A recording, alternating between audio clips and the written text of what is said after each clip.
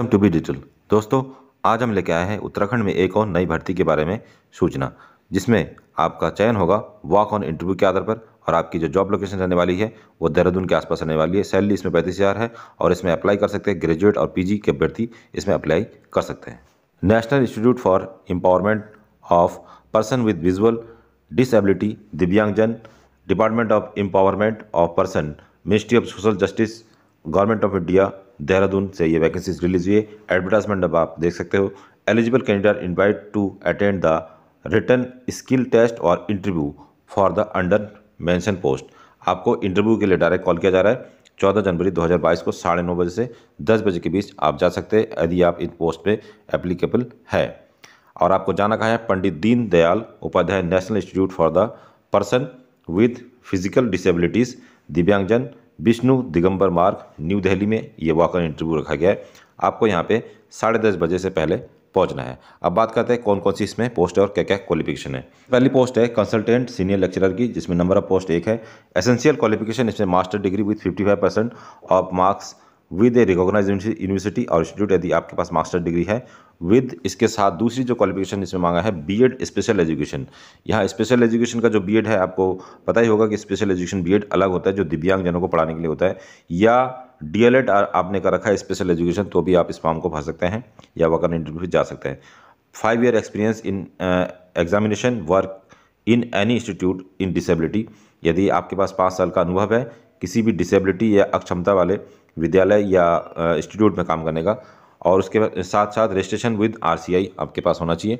मैं जो रेमुनेशन रखा गया है, पैंतालीस हज़ार इससे स्टार्टिंग है और 11 मंथ की सैलरी है। इसके साथ साथ डिज़ायरेबल क्वालिफिकेशन अर्थात यदि आपके पास डिज़ायरेबल क्वालिफिकेशन वांछनीय योग्यता हो तो आपको प्रेफरेंस मिलेगा। डिज़ायरेबल क्वालिफिकेशन है एम एड स्पेशल एजुकेशन यदि आपके पास है तो आपको प्रेफरेंस मिलेगा। Knowledge of M S office and other data software का यदि आपके पास अनुभव है इंटरनेट चलाने का तो आपको जो है इसमें वरीयता मिलेगा। दूसरी जो वैकेंसीज है, वो है कंसल्टेंट लेक्चरर की, जिसमें नंबर ऑफ़ पोस्ट एक है एसेंशियल क्वालिफिकेशन इसमें, जो अनिवार्य योग्यता है, वो master degree at least fifty five percent के साथ मास्टर डिग्री होनी चाहिए। और उसके साथ साथ बीएड मांगा है इसमें, वो भी स्पेशल एजुकेशन के साथ, या फिर आप डीएलएड यदि आपके पास स्पेशल एजुकेशन के साथ है तो आप इसमें वाकन इंटरव्यू के लिए जा सकते हैं। इसके साथ इस पोस्ट में थ्री ईयर एक्सपीरियंस मांगा है। किसी भी इंस्टीट्यूट में में काम करने का डिसेबिलिटी वाले इंस्टीट्यूट में तो आप इसमें जा सकते हो। इसके साथ साथ रजिस्ट्रेशन विद आरसीआई के साथ आपके पास होना चाहिए। और इसमें जो सैलरी है, पैंतीस हज़ार से स्टार्ट है और ग्यारह मंथ के लिए ये संविदा पे जॉब है। बाद में आपको एक्सटेंशन मिल जाएगा। उसके बाद भी इसमें डिज़ायरेबल क्वालिफिकेशन की बात करें तो इसमें डिज़ायरेबल क्वालिफिकेशन में एम स्पेशल एजुकेशन यदि आपके पास है तो आपको वरीयता मिलेगा। प्लस एमएस ऑफ़िस का काम आपको आना चाहिए।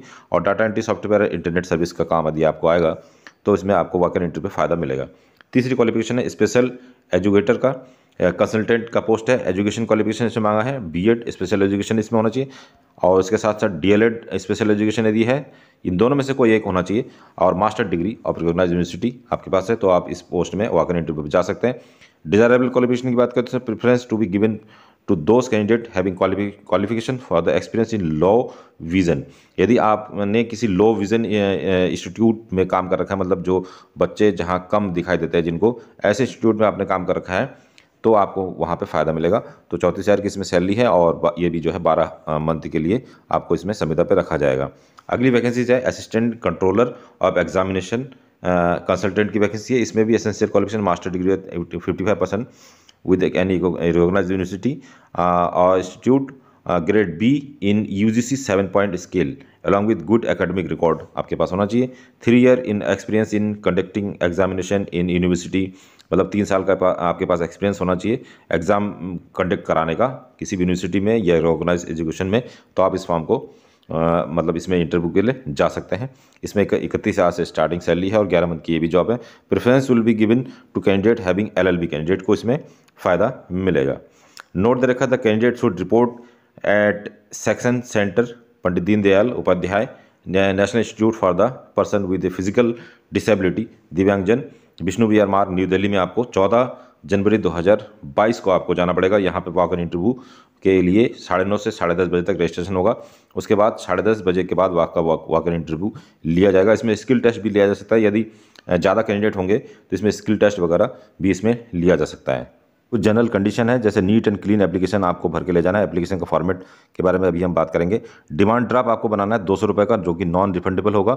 और जो होगा director N E N I E P B D payable at Dehradun के नाम से एक डिमांड ड्राफ्ट आपको बनाना होगा और वो भी आपको लेके जाना पड़ेगा। इसके साथ कुछ और भी इंपॉर्टेंट जानकारी आपको इसमें है कि candidate should carry the following document आपको लेके जाना पड़ेगा स्किल टेस्ट या इंटरव्यू के लिए। एक तो आपको एजुकेशन क्वालिफिकेशन की जो भी डिटेल्स है डॉक्यूमेंट है, वो ओरिजिनल आपको लेकर जाना है टेक्निकल या प्रोफेशनल क्वालिफिकेशन का डॉक्यूमेंट आपको लेकर जाना है proof of date of birth proof of experience आपको लेके जाना पड़ेगा डिसेबिलिटी सर्टिफिकेट यदि आपके पास है तो आप उसको भी लेके जाना पड़ेगा।